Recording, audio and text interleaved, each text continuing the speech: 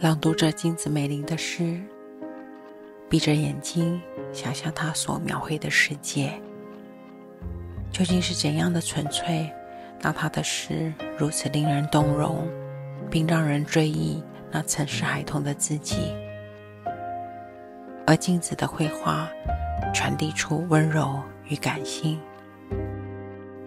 他以柔美的绘画风格诠释出他心中的金子美玲。每一张画